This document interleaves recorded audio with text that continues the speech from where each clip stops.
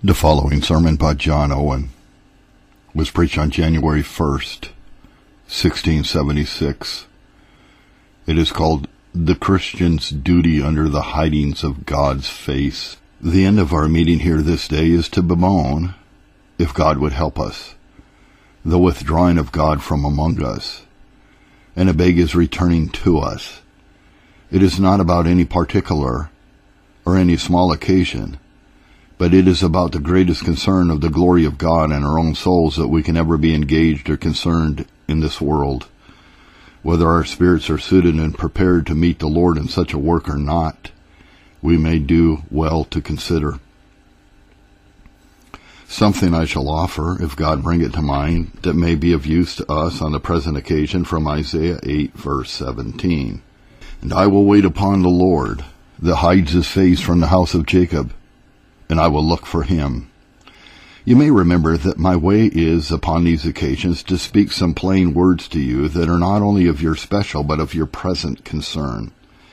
I shall not therefore open the context here, but only tell you, which you will see by reading the chapter at any time, it was a time of great sin, of great darkness, of great danger, and yet there was a promise of Christ that kept life in the church in the midst of all. For the opening of the words, I would inquire into these four or five things. Number one, whom it is that God hides his face from. Number two, what it is for God to hide his face. Number three, how we may know when God hides his face. Number four, what are the reasons why God hides his face. Number five, how we may distinguish between God's hiding his face and God's departing. And lastly, what is our duty in such a state and case? When God hides his face. I will wait upon the Lord who hides his face from the house of Jacob, and I will look for him. I shall speak very plainly, and I fear somewhat briefer than I intended, by reason of my infirmities to these things. First, whom is it that the Lord hides his face from? It is from the house of Jacob. God never hides his face from the world because his face never shines upon them the face of God's providence alters towards the world. It is sometimes filled with more frowns and anger than at other times, and he works great alterations accordingly. But the face of God's grace it neither shines upon nor can be said to be hid from the world. God hides his face from the house of Jacob, and two things are considerable in this. First, that it is the true church of God that is intended, and number two, that it is the church of God in some special state and condition that is intended. That is Jacob, number one. It is the true church of God that is intended. Jacob is he that received the promises, with whom God made a covenant, to whom God engaged his truth. Micah 7:20.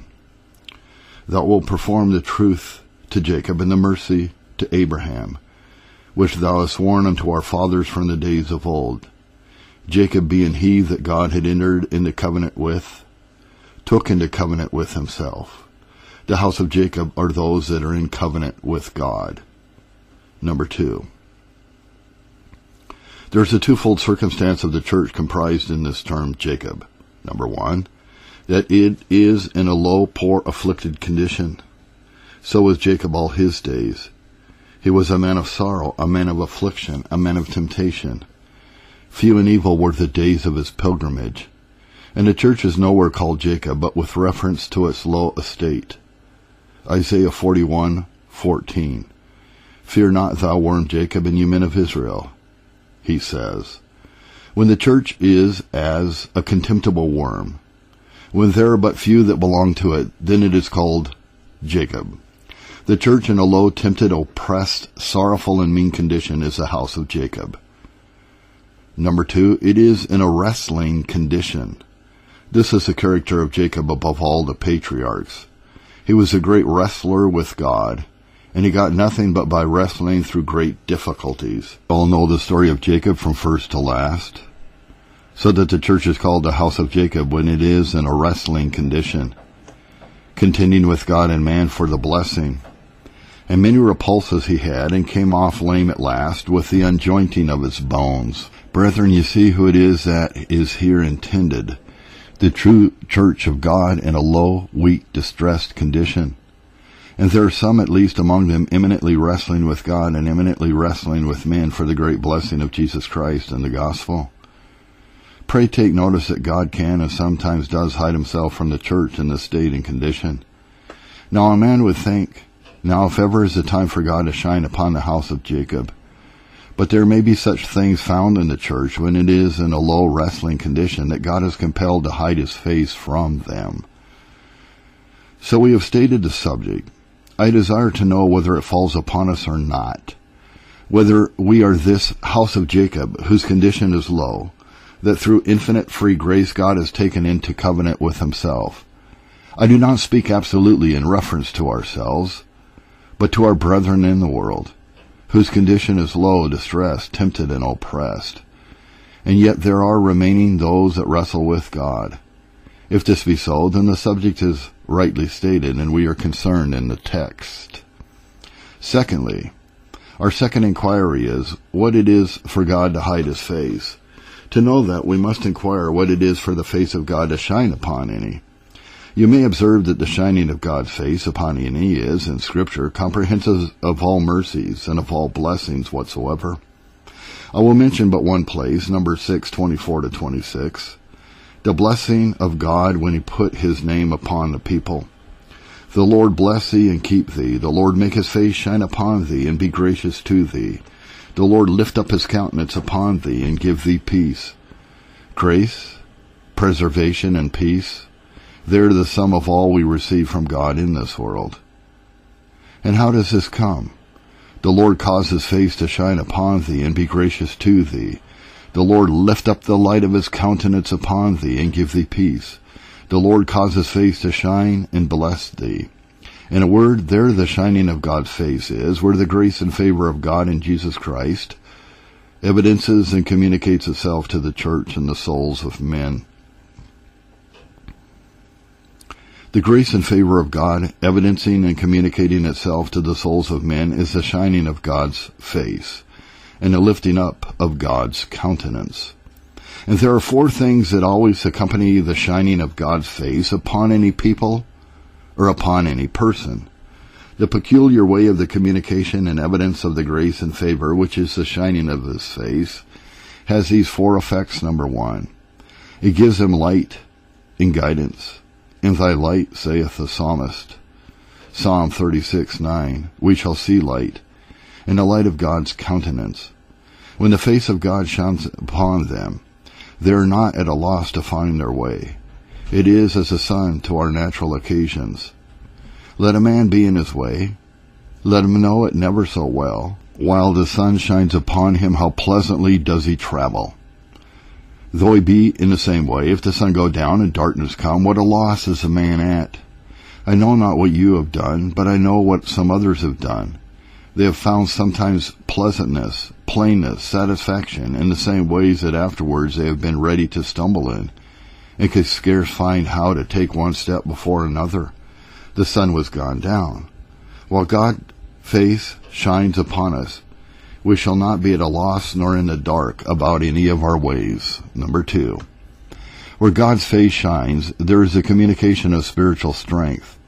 For as I told you, this face of God is His grace and favor, which is the fountain of all our spiritual life, of all spiritual strength, of all spiritual vigor. I need not stay to prove these things, which you know are acknowledged. All our spiritual life is from the fountain of God's grace and favor, and the shining of the face of God is the actual communication of spiritual strength from that grace and favor. Whenever God's face shines, and let us please ourselves with any other apprehension, we shall have spiritual life, strength, vigor, quickening, as to all duties, as to all occasions, as to all trials and sufferings whatsoever we are called to. Number three, the shining of God's face is, in a peculiar manner, the cause of spiritual joy and refreshment. For by the shining of God's countenance, he does give in pledges to our hearts that he is our reconciled God and Father. Spiritual joy is a most peculiar effect and an infallible evidence of the shining of God's face. Wherever it is, there God's face shines, and where it is not, there God hides his face. Number four, and lastly, deliverance from trouble is an effect of the shining of God's face. Cause thy face to shine, and we shall be saved. Such is a prayer of the psalmist. These four effects constantly accompany the lifting up of God's countenance and the shining of his face upon us. Wherefore the hiding of God's face must respect these effects, light and guidance, spiritual strength, joy and deliverance. Number one. The hiding of God's face respects light and guidance, Hosea 5, 6.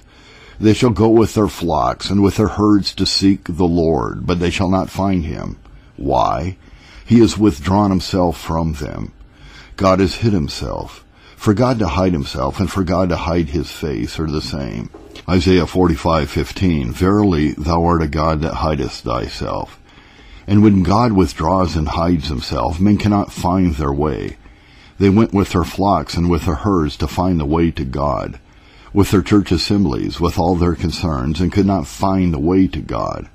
When God hides his face, we shall be left under darkness as to our churches, ways, and walking. Pray, brethren. Let us now inquire whether it is so with us or not. Consider these few things in the fear of the Lord. Number one, do you see the beauty and the glory of the ways of God? Do you see the glorious goings of God in the sanctuary? As may be, you have seen them. Do you see a desirableness and a beauty in the ways of God's worship in the church? Or are these things grown to you a very common thing? You are in a good way, but is not the sun gone down? You are in the same path as formerly, but are your hearts so delighted, so refreshed? Do we really see a beauty and a glory in the ways and worship of the house of God? I'm afraid we can scarce say so. And if it be so, it is through the want of the light of God's countenance. We are in the same way still, but darkness is round about us. We see not the beauty and glory of the ways and worship of God. Our very walking, our very actings, the very course we most of us take in the ways of the church, manifest the hidings of God's face. That God has so far withdrawn the light of his countenance from us that we do not see a glory in the same way that once we saw before. Number two. Are we not at a great loss as to the ways themselves and the least difficulty we cannot find our way, but we are bewildered? Every trivial exception that has been answered a hundred times will turn us out of the way and keep us from the discharge of our duty and from what God calls us to. God hides his face and leaves us much in the dark. When we would go about our duty, we do not find our way. All things have not been plain and clear. Number three. Are we not in the dark as to the way of love, the life, the soul, the cement of church communion, without which the best of us as to any church order are but as sounding brass and a tinkling cymbal. Whatever sweet or pleasant noise we make by our way or walk, without the exercise of love, we are as sounding brass and a tinkling cymbal. Is there not darkness come upon all professors herein? Is there that love among professors in general that either has been or ought to be? Is there that love among churches, one church to another? They are scarce concerned in one another. I did little think ever to have lived to see the day in which the churches of Christ should have so little concern in one another as they have. There is not that love among ourselves, which there ought to be.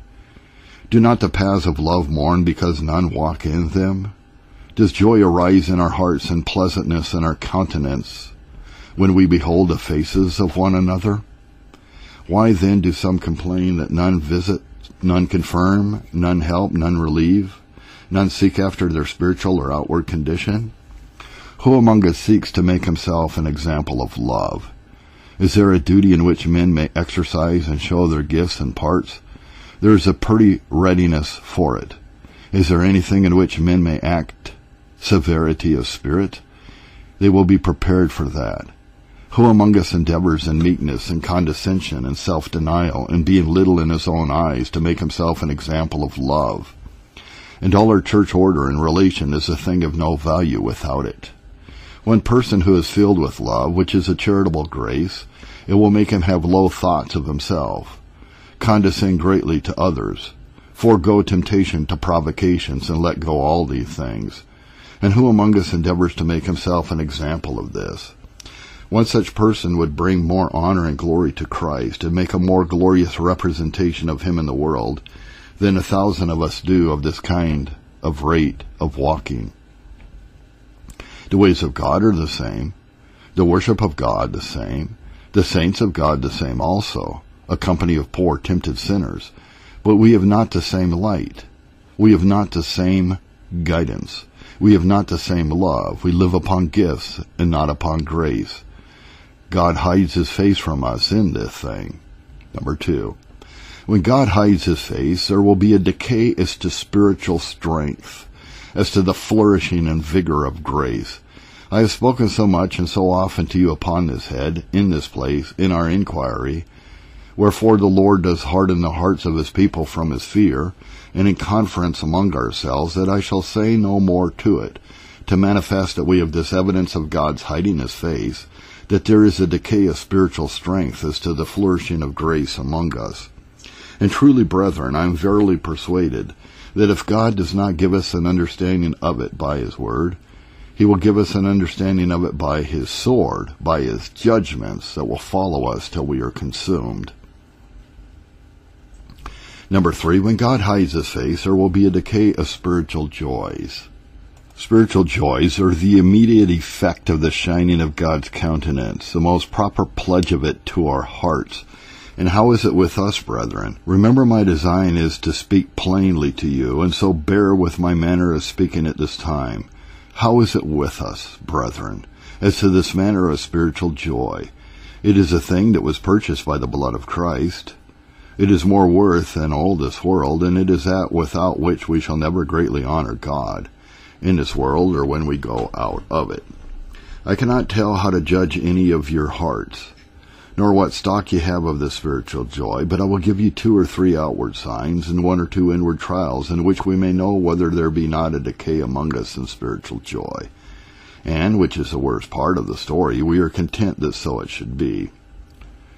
This is certain that carnal joys and spiritual joys are inconsistent that where carnal joy is predominant, let men pretend what they will and speak with the tongue of men and angels, there is no spiritual joy. By carnal joy, I understand the prevalent satisfaction of the minds of men in present enjoyments, whether in relations or in outward state and condition, or in the succeeding of their affairs.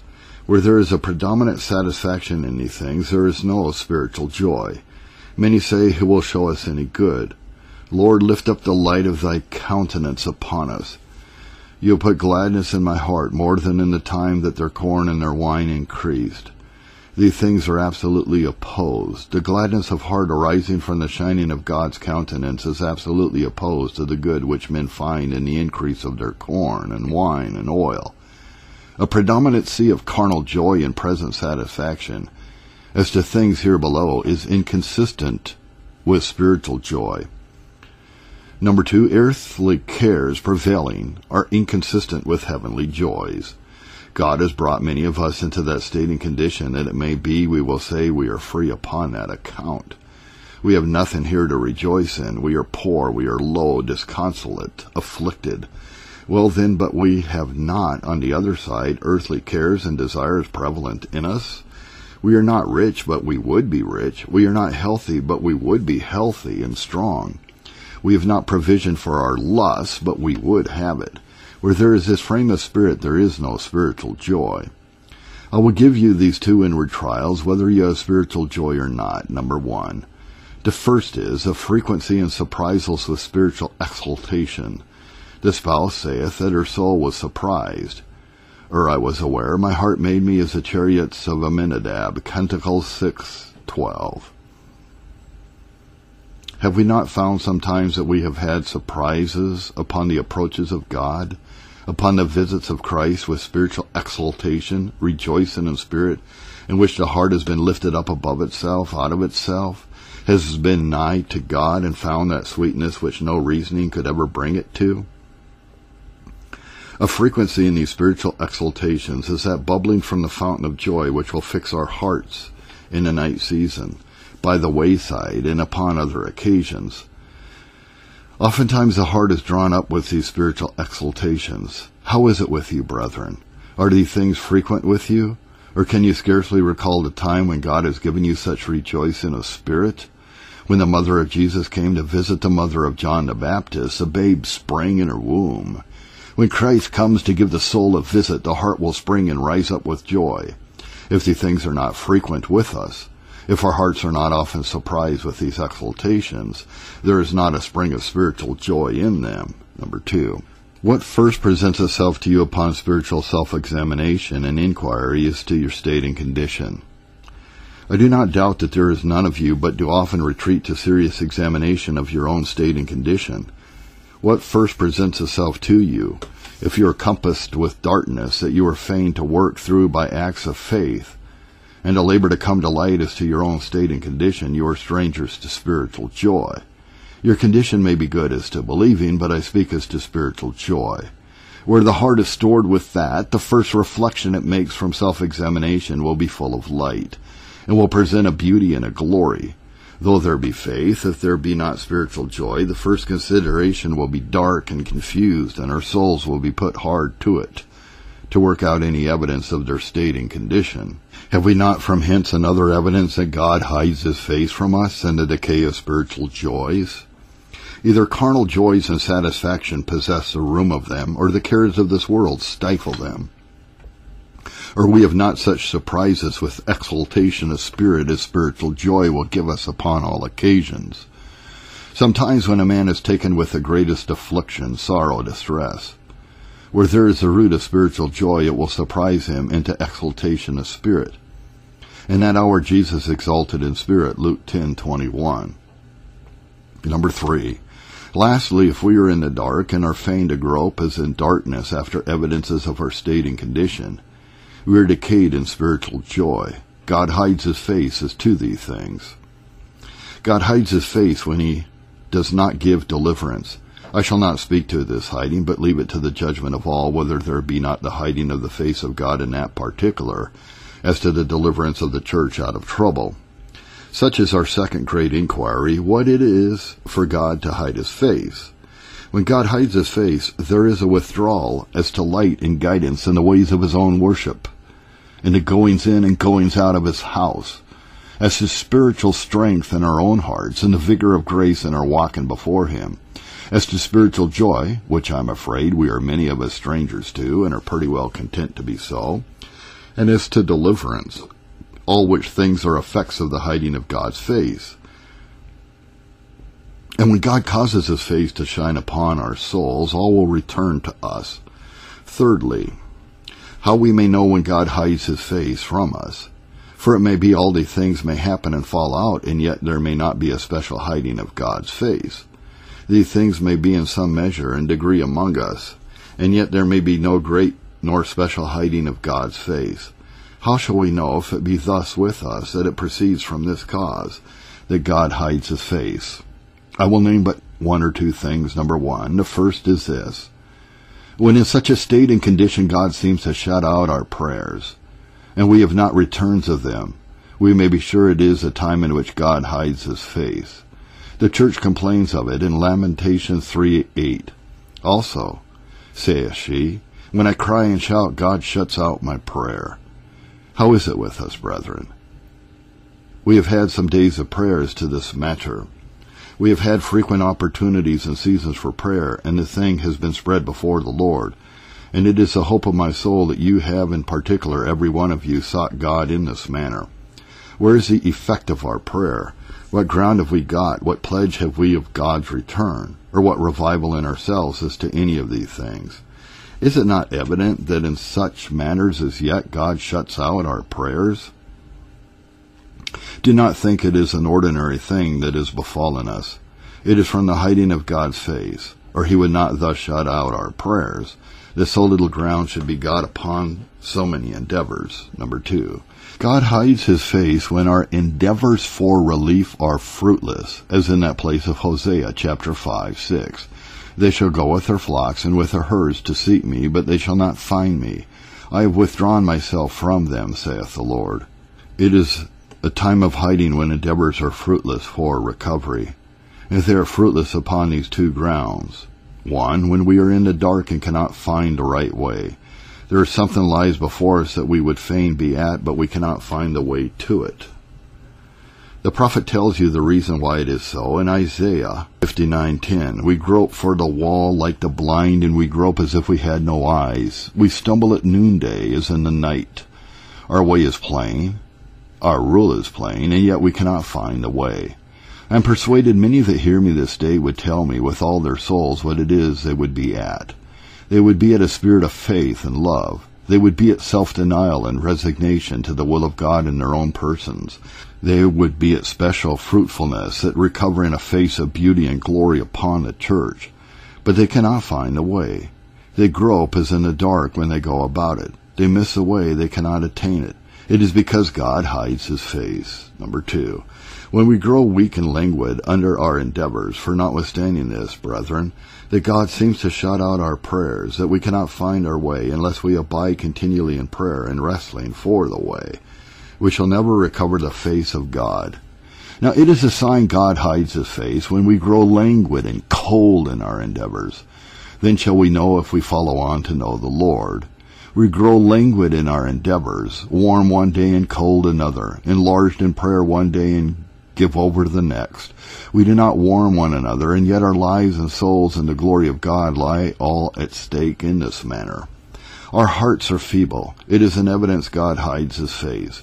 We do not wait upon him as we ought, for they that wait shall not faint, whatever they do. It is difficult, and we do not help one another as we ought. We do not go to one another and advise with one another to set one another in the way. And lastly, we grow languid after we have been put into the way. The world cools our hearts, and we think enough is done upon such occasions. We shall not know the Lord in this manner, unless we follow on to know him. Fourthly, why does the Lord thus hide his face from poor Jacob, from oppressed Jacob, from wrestling Jacob, from his own people? Why does God thus hide his face from them as to all those things we have mentioned, as to guidance, strength, joy, and deliverance? The reasons are very plain why God does it. It is first for their love of the world. Isaiah 57:17. For the iniquity of his covetousness I was wroth, and I hid my face from him. It is our love of the world and conformity to the world that has caused God thus to hide his face from us. I bless God that has put it into the hearts of some among us to desire we may get together to consider what remedies we may have to cure us of that great conformity to the world that is grown amongst us. And I shall desire of the congregation that we may have a time to consider of it, because it is that which will greatly, with apparent offense, take us off from hearing our testimony against the world which God has committed to us. But it is for our love of the world, all and every one of us. None of us but have greatly refused God's teaching in that particular of love of the world that is among us. For the iniquity of his covetousness was I wroth, and smote him. I hid me and was wroth. I would not judge any, nor reflect upon any. But I am afraid it is one great sin for which God is contending with our brethren at the ends of the earth, hiding his face from them, as at this day. Their hearts have too much gone out after the world, too much cleaved to it. And the word of God cannot fail. If Jacob will love the world, if the iniquity of covetousness be found in him, God will assuredly hide his face. The word of God cannot be of none effect. It is in vain to imagine that under a worldly carnal frame of spirit we should have the shining of God's face upon us. Number two. A frowardness in our walking is another reason why God hides his face from his people. God complains of Israel, they are froward children, and a froward generation, and so saith they shall not find him, Micah 3 4.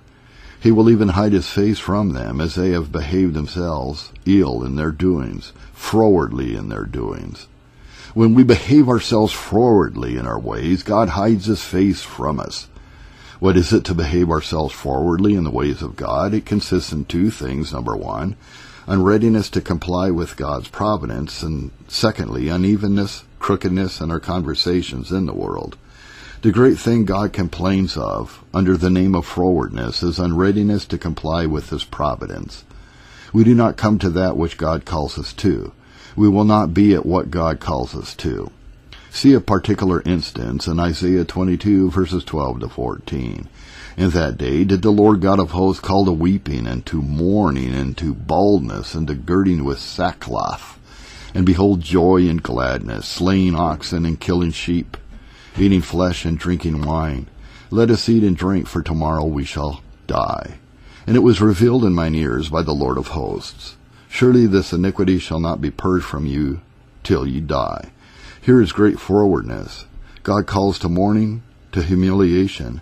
Instead thereof there is slaying of oxen and killing of sheep, every one rejoicing in what he has according to his power, every one eating and drinking as they can, adorning themselves as they please. And that at a time when God called to mourning, but it is not such a time now. Then it was never such a time in this world. All the tokens of God's displeasure are upon us. What we hear in the world is near approaching, particularly to ourselves. All the contest God has had with this nation by poverty, by that dreadful judgment of fire and the like, threaten us every day. If these be not calls to mourning, we can have none from the word of God, nor from conjunctions of providence.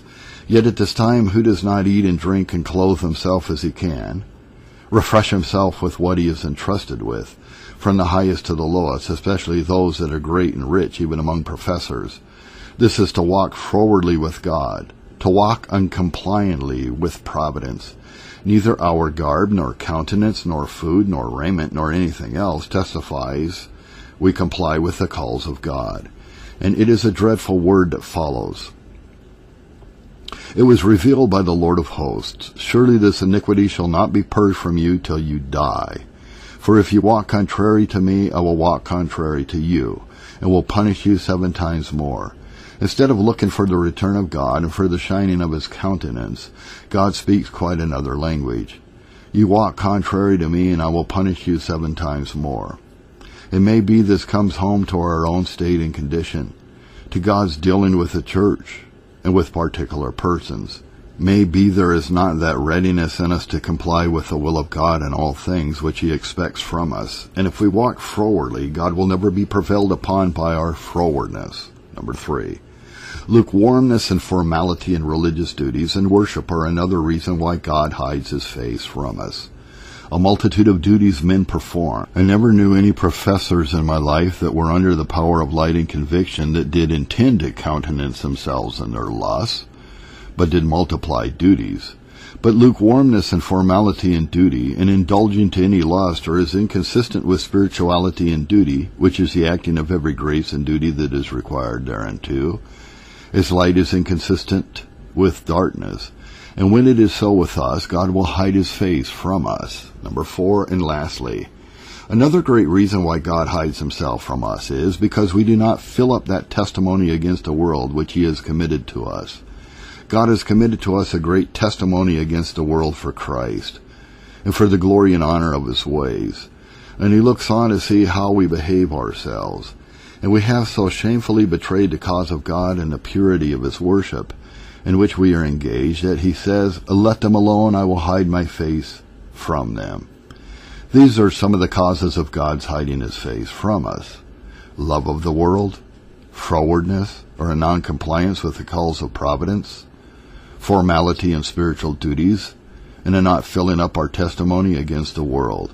And we have scarce time enough left in the world to sigh to the breaking of our hearts, that we do not more glorify God in this world. Therefore God hides his face from us.